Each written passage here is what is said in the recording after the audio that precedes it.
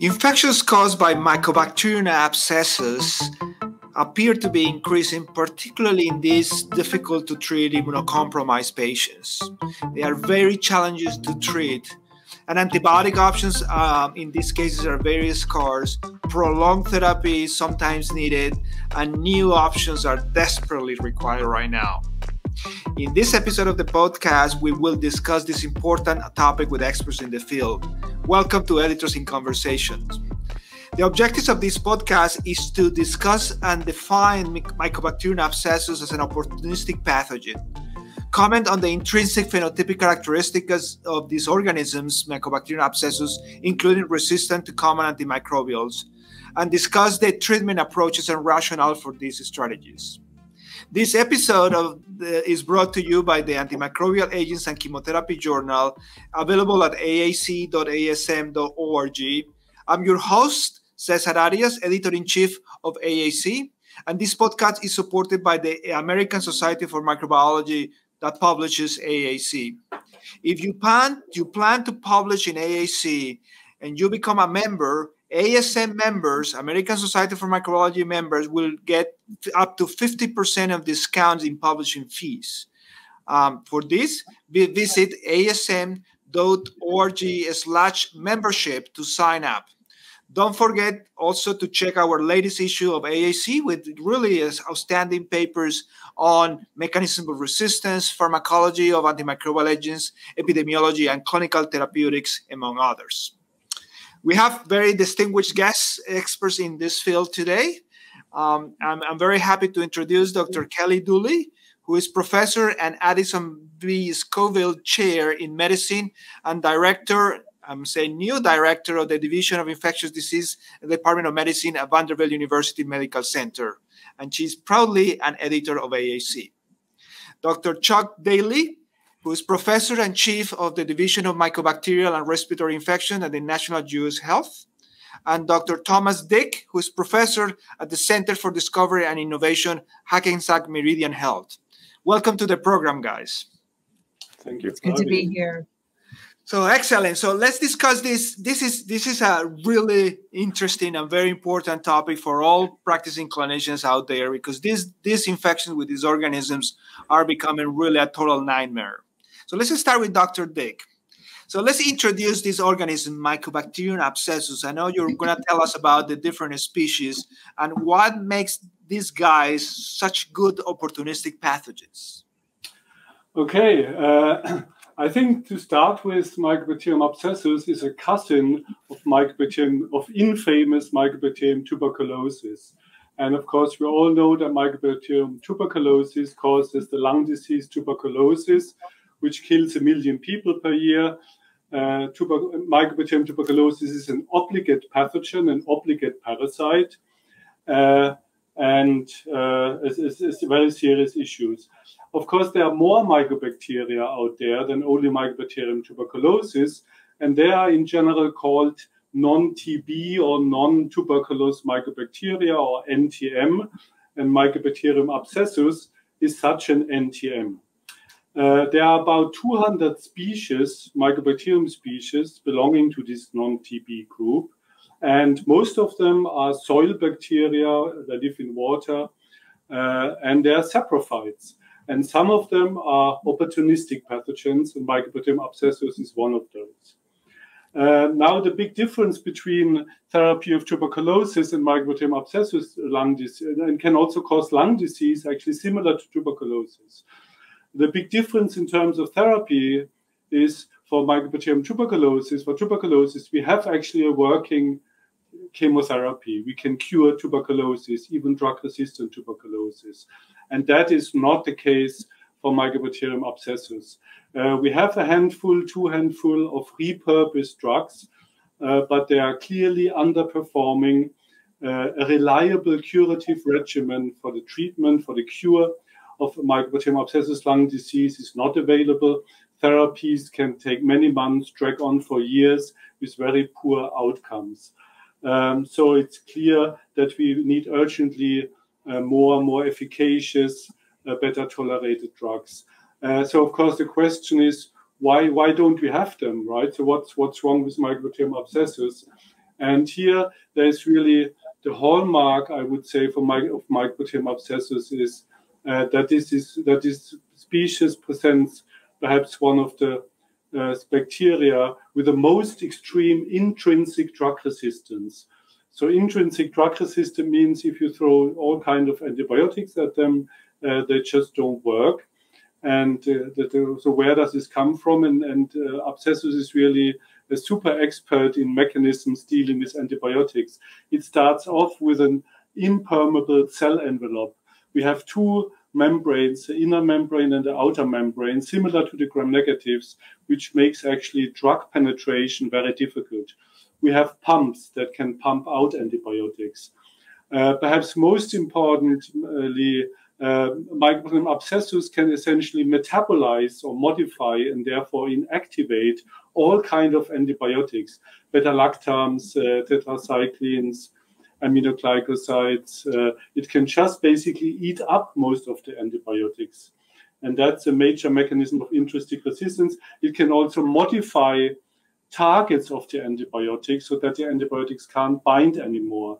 And finally, some of the targets are simply different structurally because abscessus is quite distinct evolutionary from the gram negatives and the gram positives, and the drugs just don't bind. Right? So we have a multitude of, of, of intrinsic resistant mechanisms. So to briefly address the question, why is it such a great or good, successful opportunistic pathogen? I think uh, the molecular mechanisms why it can actually thrive in humans, this is still work in progress.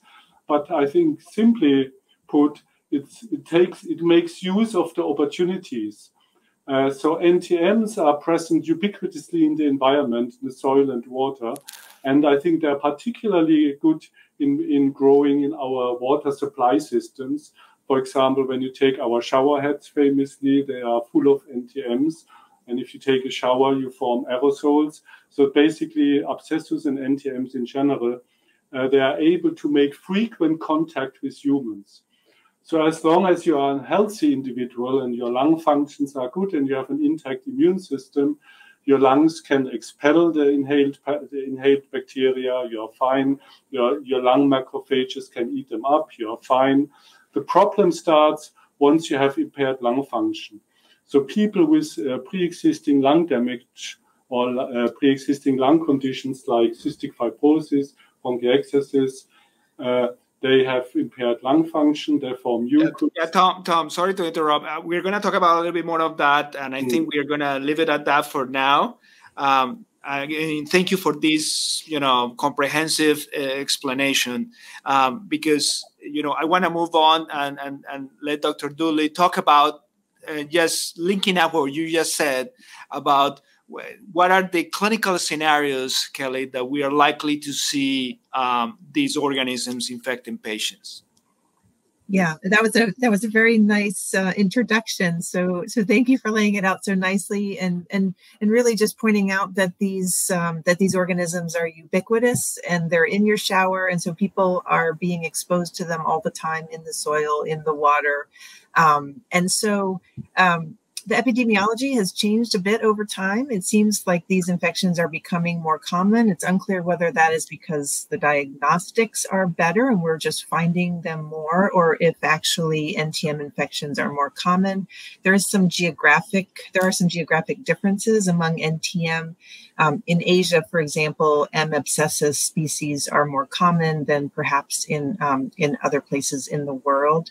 But um, but but as he said, you know, most of us do fine with M. abscessus being being around us, but um, there are people that are, have a special susceptibility, and that is largely among people that have um, that that have some sort of uh, damage to their lungs. So they're they're either they have structural lung disease, and so that's a place for the mycobacteria to set up shop, and they don't have good um, blood supply and immunologic function in these damaged areas of the lung, or their um, or their airways are damaged in such a way that they can't expel these bacteria out. Um, so those would be people with cystic fibrosis, um, as as he mentioned earlier.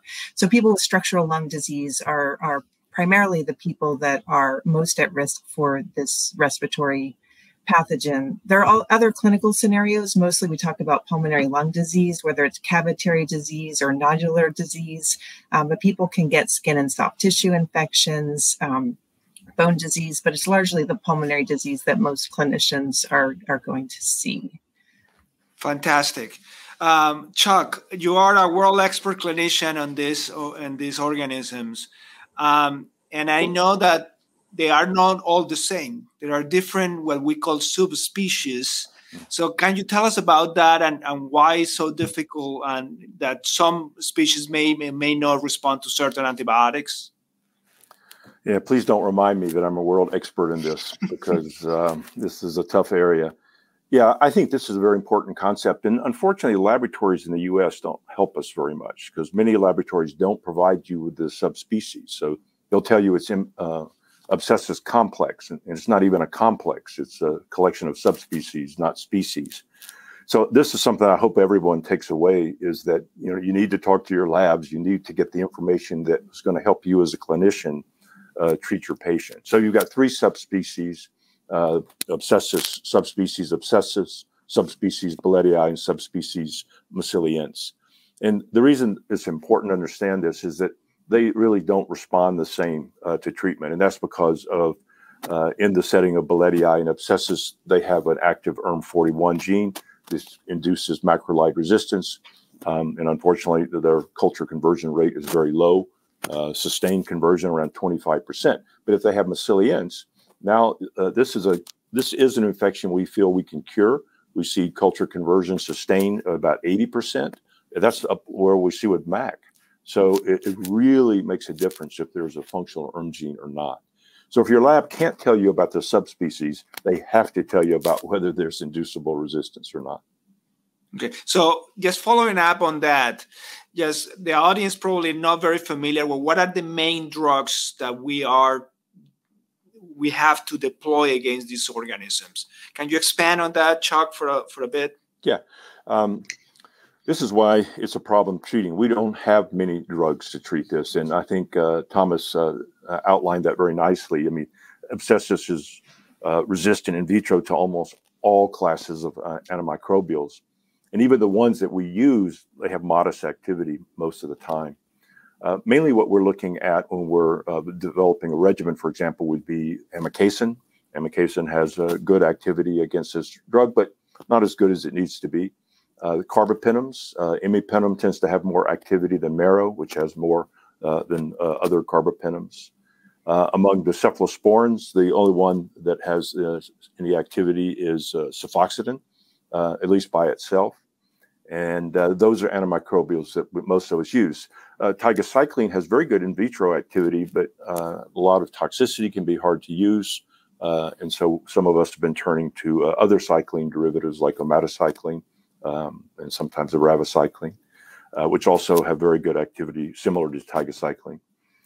then the problem comes when we have to use oral drugs because this is where we don't have a lot of options. Uh, we hope it's macrolide susceptible, and of course, we would use the macrolide, usually azithromycin. Uh, has good activity against abscessus. Uh, can be difficult to get, but we use it in pretty much all of our abscessus patients. Um, and then we start going into things like bedaquiline, tedizolid. Uh, uh, sometimes they're susceptible. But like with most of these organisms, calling it susceptible and resistant is a relative thing uh, it, it, just doesn't always correlate with clinical outcome. Okay, this is great uh, information. Uh, so, uh, Dr. Dick, so you you you spend your time trying to develop new drugs and develop drugs for for this. We just heard, you know, we have several drugs that may or may not work very well, but uh, but uh, you know, I think discovering new drugs is important. So tell us what are your approaches and what you are finding out in the lab and potentially uh, of possibilities to discover new drugs or potentiate the ones where we have. Yeah. Uh, so basically, I think there are three fundamental approaches to, to, to finding new drugs for abscessus. Uh, one is, of course, repurposing. This means we should continue to look at drugs which are either approved or in development for other diseases, whether they may be useful to to for, for use against Mycobacterium abscessus. And here comes to mind uh, no, novel, for example, oral beta-lactams like oral tebipenem, which is in development for other diseases, together with oral avibactam. Uh, so we should continue looking for drugs which are advanced in clinical development for other diseases for their usefulness. And I think specifically in the beta-lactam field, there may be opportunities for that. The second fundamental approach is what, what, what can be called repositioning of, of existing drug classes. And that actually uh, basically tries to optimize drugs which in principle work, but they have issues. Uh, a very nice example is the, are the macrolides that Chuck mentioned. ERM41 is a resistant mechanisms, resistant mechanism that methylates the binding site. So if we could find basically macrolides that bind despite having the the, the, methylation on the ribosome, that would that would make a new drug. So this is what we can do with chemical optimization to circumvent that. Another possibility would be we know that rifamycins are work, do work very poorly because they are metabolized by, by the bacteria. If we can block this metabolism, we may actually come up with working uh, rifamycins. We also have then to address the drug-drug interaction. But this is basically repositioning. So you take drugs that are approved, that work, but they have issues to try to make them better. And the third fundamental approach would be then de novo drug discovery. And that means that we really find new chemical entities with or without uh, a novel target or an old target. And here it turns out that actually we can really exploit the success of, uh, of TB, of tuberculosis drug discovery over the past 20 years. So the NTM drug discovery is pretty much in a state that TB drug discovery was in 20 years ago. There is not much activity. We have very few leads, lead, lead hits, leads, advanced leads.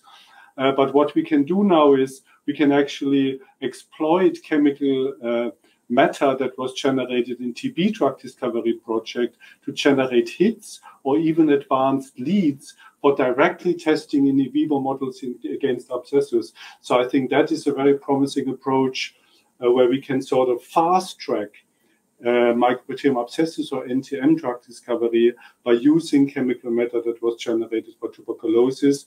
And these are essentially the three approaches we are, and I think the field uh, are following up.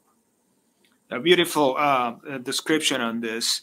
Um, so let, us make this more practical. So Kelly, so if a if a patient comes to you to start therapy, so, and you are consulted, you are in an ID service, and somebody calls you to to to treat this.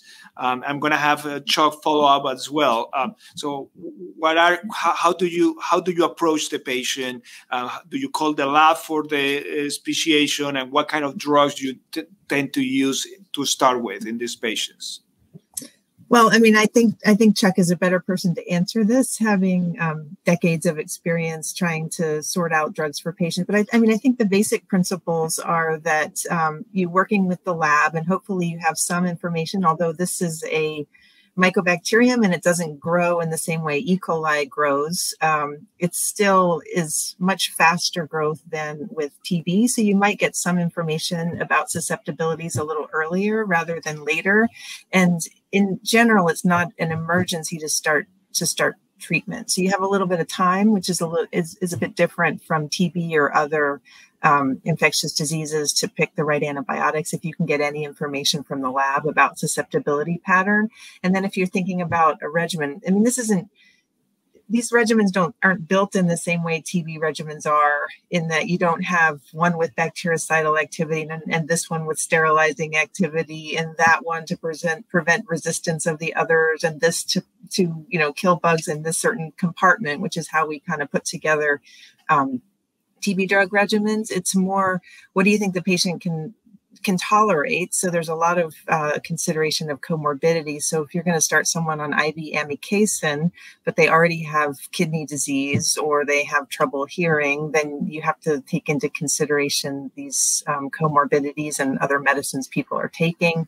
Um, they're going to require IV access and long-term treatment with the with at least probably a couple of IV antibiotics for a while, and then you throw in a couple of these um, oral agents to try to make a regimen. And I think a lot of time, I'm sure a lot of your time, Chuck, is spent just accessing some of these medicines and ensuring that they're paid for in some way. I mean, this is really uh, one of those critical areas of unmet medical need where patients really suffer and the drugs we have are, are pretty toxic and, and don't work very well. And we, we definitely can do better. I I love that. Um, I mean, Thomas Dick, a lot of his work is actually published in AAC, so I see a fair bit of it kind of early on, which is nice. But um, I'm glad to see there is some discovery work and um, and repurposing work, at, at, at, least on the bench, and now even in, in some trials to to help us do better. Very important points. Um, um, so, Chuck, walk us through your your process, your thought process when you um, get uh, a patient with this disease, and so what do you do? You know, practical terms. How do you? What do you ask your lab? What drugs you start first? Maybe second. What considerations are that as as you know as a follow up from from Kelly's important comments? Yeah, well, I agree with everything Kelly said, and the, I'll take a step back. The hard part is, are you going to treat the patient or not? Uh, and and then once you get past that, it actually is fairly cookbook. You know, if you follow the guidelines. Anyway. So how, how do you decide? Very important. How do you decide you need to treat or not? Well, I would say with all NTM, not just abscessus, but probably particularly with abscessus because it's so difficult to treat. Um, we look at is the patient symptomatic? Uh, what's the extent, uh, radiographic extent of disease? Do they have cavitation, for example? Um, what's the bacterial load? Um, is, is this a positive lavage only? I haven't treated anyone for NTM from a, with a positive lavage only in probably 20 years. Uh, I, I mean, it just tells me I better start looking harder now. And so we get sputum, and we like to get several different sputum cultures, preferably over weeks to months. Uh, we, I, what um, Kelly said, you know, you can take your time with this, this disease. This is not TB. Uh, you want to be very certain that this is harming your patient. You know, the other thing that we find is in those people who have a single lavage with abscessus, when we get three sputum, it actually they, they all grow MAC, or they grow some other uh, slow grower. So mixed infection is very common. So the first thing I would say is to slow it down, get your diagnostic specimens, get them to a lab that is going to provide you with clinically useful information. And if you look at the patient and they're symptomatic, they have risk factors for progression like cavitary disease, then we're going to recommend treatment. Uh, we start usually with uh, three or more drugs in macrolide susceptible disease, or four or more in uh, resistant disease, usually two IV drugs uh, with as many orals as we can get. And uh, how long you you treat that is, I mean, we don't know. When we did the guidelines, uh, we had a PICO question that we asked the uh, expert panel: How long do you use the IV the drugs? And so we went around the room, and the uh, some said two weeks, some said nine months. So we said, well, we've got some discussion here because we have to somewhere. That's the typical expert panel, right? yeah, exactly. But most people treat it around two months. Uh, but let's say two to three months and and then we go to the next phase in TB, you know, the continuation phase. We use the same terminology, uh, but now it's tough because, as I said earlier, we just don't have many oral drugs. And to Kelly's point, the ones that we want, we often cannot get, or we can spend weeks or a month or two prior authorizations, you know, trying to get drugs that have activity in vitro, um, because that's mostly what the data that we work with in this field. Um, so it, it's a, it's hard, and it really turns doctors off. They do not want to go through all of this, and so abscessus is often the one. Pulmonologists they make the diagnosis, and as soon as they find out it's abscessus, they're sending them to their ID colleagues because they're going to need IV medicine, and they don't want to deal with it. So it really is the infectious disease uh, practitioners that are treating abscessus. Uh, in the past, it was really more pulmonologists treating MAC. Uh, but Abscessus has really pushed NTM, I think, into the ID practices. So great. Um, so, uh, Tom, uh, you mentioned about, I mean, I'm very curious because and there's uh, several papers in AAC, uh, particularly one of the first of, of talking about beta lactams, particularly the beta lactam inhibitors like avibactam and all that. Can you comment a little bit more about that? Uh, and I know even in TB they are they are being considered, particularly multi-drug resistant.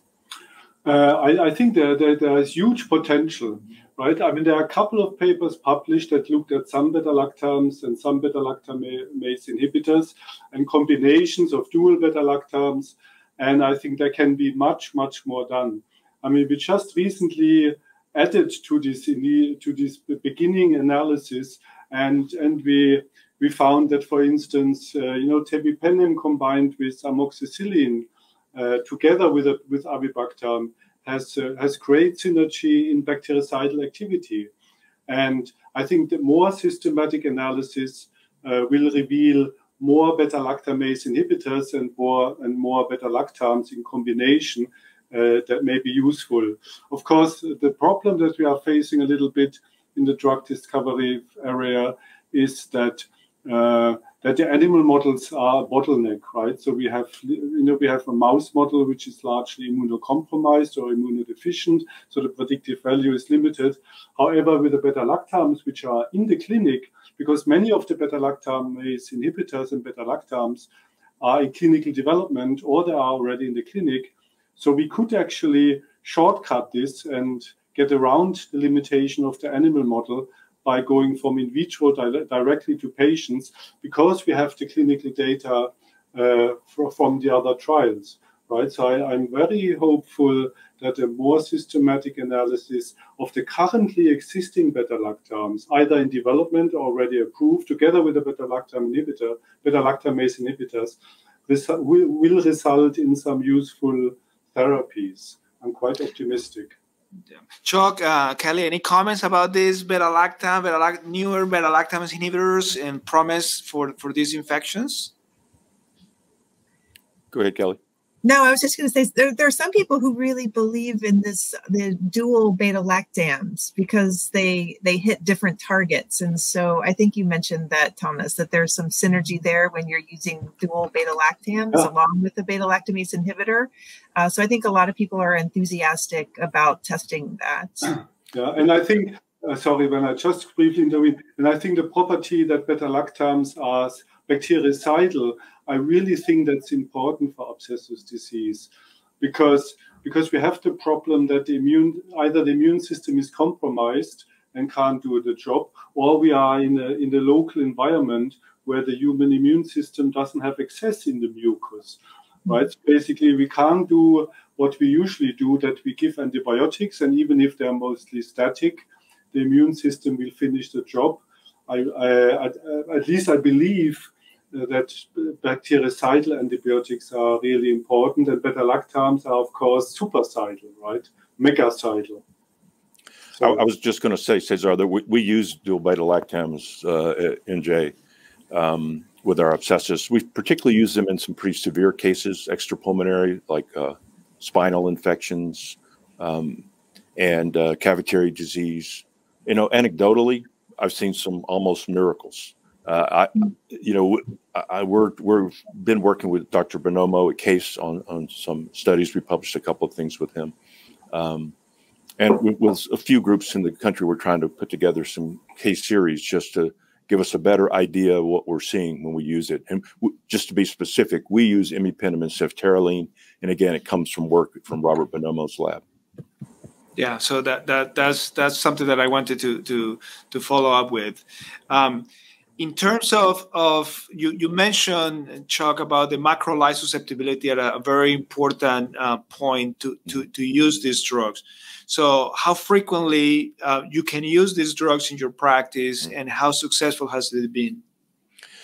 So, you know, the species or subspecies uh, prevalence varies. So, unfortunately, in the U.S., we have a, mostly subspecies abscessus. If you go to Japan and Korea, it's about 50 50 uh, uh and abscessus. Uh, so they're very lucky in that regard. Um, we use macrolides anytime that we, we have susceptible isolates, and unfortunately, it's only about 20% of abscessus. Um, and pretty much all of Massiliense, and we just wish we had more. Uh, we, we do see more, we seem to see more Massiliense from Florida uh, than we have seen in some other regions uh, of the country, something we just looked at recently. Um, but if you do use the macrolide, I mentioned earlier, culture conversion is around 80%. And if you don't, it's around 20. So, Chuck, there are some people, and even in the guidelines, uh, there was debate about whether to use the macrolide anyway, even if there is resistance, because this idea it might have some immunologic activity or anti inflammatory activity. Do you buy that? Uh, I do. I mean, three randomized placebo controlled studies in bronchiectasis patients published in New England Journal, JAMA, and Lancet all met their primary endpoint and showed that they decreased exacerbations or time to next exacerbation. So they definitely do something. It's just what's the magic that's occurring that lets that happen? Uh, because we don't think it's antimicrobial activity. So it's some it's probably some other activity, but I don't know what it is. But that's that's where that came from. And remember, there were a lot of pulmonologists uh, on the on that uh, committee. Half were pulmonologists, uh, half were ID uh, or microbiologists. So they felt pretty strong about it. And they they use this drug in those, some of those trials for pseudomonas, but uh, yeah. and recurrence of pseudomonas as well, um, and, and seem to be working through uh, different mechanisms. So um, that's that's a very interesting part. So um, let, us talk about the, these these other drugs. Uh, uh you mentioned the oxazolidinones, right? Um, that mm. you know are, are you know sometimes used by in TB as one daily dose instead of two to decrease um, uh, toxicities. So um, for anybody, so what, what's the experience for linezolid or tedizolid to, to treat these organisms? Is that to me? Yeah, Chuck. Let's, yeah, let's okay. go with you. Um, well, so I, think we have the same issues we have with TB. The toxicity is a limiting issue when using them. Um, Tedizolid has significantly better in vitro activity, so that is a drug we would prefer to use. But to our point earlier, it's hard to get uh, through insurance. A lot of denials. I would prefer it over linezolid for abscessus. Uh, but we do use linezolid sometime, but we only see in vitro activity in, in, in our lab probably less than half the time would would we use linezolid based on in vitro activity. Um, so there are some new ones out there that are coming, and they they will they are more active against abscessus, and uh, we'll see if they if they have less toxicity. We're hoping they will. Okay. So are those um, are those like sutezolid and TBI two two three, or they're coming from somewhere else outside of TB? Um, you those are some, and the other one is confidential. Can't say the name, but uh, it's coming from your previous employer, meaning someone at Hopkins. Okay. Okay. All right. Great. Great. Right. So, um, and and then the, the, the, the drugs that are sort of uh, being used more now, um, um, I guess in my experience, are the new glycylcyclines, like, you know, omadacycline, um, particularly omadacycline in terms that it is IV and oral potentially, but uh, I guess tigecycline and abaciclib may have also activity um, AAC just published a paper about the MICs, for examples, for eravacycline that look pretty good. Um, so, Chuck, what, what are your comments on, on, on these type of drugs? Yeah, so we um, we're pretty excited about these drugs. Um, uh, I would say omadacycline more just because it has both IV and oral uh, formulations. It seems to be better tolerated than definitely than tigecycline. Um, we don't have a lot of clinical experience. There is a phase two randomized placebo controlled uh, trial that's ongoing in the US. Uh, so we should have some very good data pretty soon uh, related to its activity uh, in humans. So we're, we're, pretty excited about it. The omadacycline and Taiga have similar uh, MICs. Erava maybe a dilution better. Um, but again, it's, it's only an IV formulation. And uh, when you've used it, um, what's your experience in long-term therapy? Well, you know this this is the problem, of course, because it's one of four drugs usually, and it's difficult to to tell. For for example, in one of those anecdotes, it was a miracle to me that I started dual beta lactam, also started omadacycline. So you know this is this is the hard part of teasing out. But I, I, do feel like it provides us with an active oral drug that is better tolerated than many other things that we we we have available. Not many, but the other things that we have available. Tom, um, in in your research, anything that you can share us that um, is exciting in the future, um, and I, I'm I'm I'm gonna start talking about how about phages, for example, that people have used, and uh, so anything to comment about that? Phages. Uh, well, I mean, one comment is I'm not into phages because I'm a small molecule drug discovery person. So I may not be the expert. But of course, there have been these nice success stories. Uh, and I think, you know, in antimicrobial resistance, one needs to follow up all avenues and do not leave any stone unturned. Uh, however, what, uh, what worries me with phage therapy is the scalability right? I mean, there have been, I think, a few dozen patients have been treated, and half of them there was some therapeutic effect, which is of course great, right? Uh, I just my, my, concern would be, but I may be wrong because again, I'm not the expert there. Can we can we scale that up? You know, we have hundreds and hundreds of of uh, abscessus and other NTM patients. Uh, that would be a little bit my worry, but I think it's it's a great success, and anything that works should be followed up. Any comments on phages, guys? Have you used it? Uh, we, we published a few months ago uh, in a different journal, Cell, uh, a CF patient that we dosed. Uh, I think you, people, I would say, if you if you want to see our view of this, read that paper uh, because we it was an unbelievable success story, and uh, and it, and what I think makes it also interesting. Jerry Nick, who led the group and he runs our adult CF program here, he's been doing biomarker studies for NTM. And so, as part of this case getting dosed, we were able to do um, biomarkers over time. And those biomarkers basically showed that we were killing the, breaking the cell wall. Uh, LAM spiked after the phage, urinary LAM spiked, um, and um, PCR in the sputum for abscessus spiked. So it was releasing DNA. So we, ha- we have these biomarkers that said, yes, this is working. And then for the first time in years, he became culture negative. That allowed him to get a transplant. And now a year later, he's still never had abscessus again. Great. And how was it inhaled? Was IV? Was both? It was IV. We're, we're you know, we work with Graham Hatfull on these, and um, we're a little concerned. We're not sure what really dose is being delivered to, to the lung when it's inhaled right now. So we prefer to do IV. Um, because we he can tell us you know exactly the concentration of phage going into the vein. So so that that's what we're doing, and maybe in the future uh, inhale. And what, does any indication that the organism became resistant with the phage, which is the, the really drawback for these therapies? No, there was no resistance. Uh, the maybe the bigger thing is that people are developing antibodies against the phage. So the Graham Hatfull they published uh, 20 people in the U.S. oh the world actually who've been dosed with phage, most had abscessus. Um, I think there was one MAC, and there were um, 11 that had some positive response. And the ones who didn't, many of them developed antibody against the phage. And our patient was starting to develop after a year of dosing. He started to develop, but he never fully uh, developed antibodies. Yeah, I think the. Sorry, Kelly. Go ahead.